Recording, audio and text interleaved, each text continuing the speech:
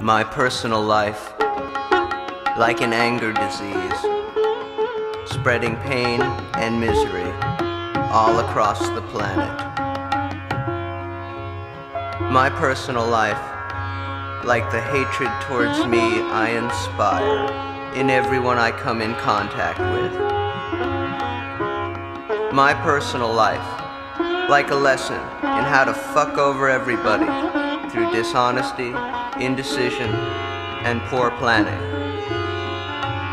My personal life, like perfect stupidity, like purgatory, like pure poverty, like can I borrow more money from the few who will still talk to me.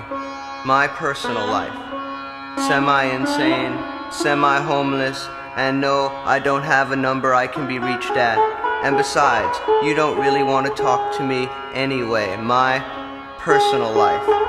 My pathetic personal life. Crying, sniveling, stupid, stupid, stupid. Why do I do these things? Why do I behave so always so badly?